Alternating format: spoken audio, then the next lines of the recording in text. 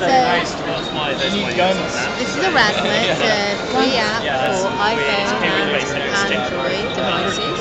And it uses sophisticated image and pattern recognition technology to see and recognise images and objects in the real world. In this case, a painting. When you look at it with Aurasma, it transforms into an interactive video. And I think you'll agree that's um, very impressive. And of course, you can click and go through to the uh, to the company that produces this, Dewey's Whiskey.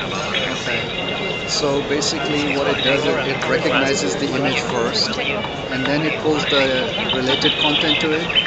That's well, we cache the trigger images. Okay. Your phone is uh, always looking at the top of and when it finds one, it actually does all the processing on the device. All right.